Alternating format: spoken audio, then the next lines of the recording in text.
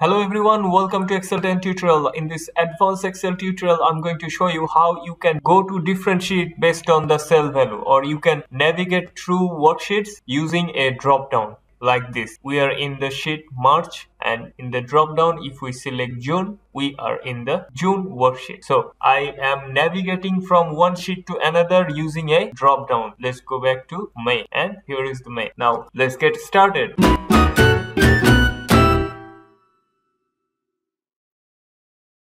So I have already done all this and here is in January I haven't done anything and I'm going to show you how you can create a drop down list using that you can move through worksheets okay? So I'm going to create a drop down list here first in case you want to learn about drop down list i have a video here. You can check it out and let's create our drop down list first. So we have selected cell a2 and click on data click on data validation. Now select your list. Now select the source and i have a source list where i have the drop down list. I have the source here in this worksheet. Click on here and click on ok. So here is our worksheet that is named january and i have created our drop down list. And you can see this is our drop down list. Now how we can create a navigation menu or how we can make this drop down list work like if we select January it moves to the worksheet January so let's see how we can do that. Click on the developer tab, click on Visual Basic and go to that worksheet, sheet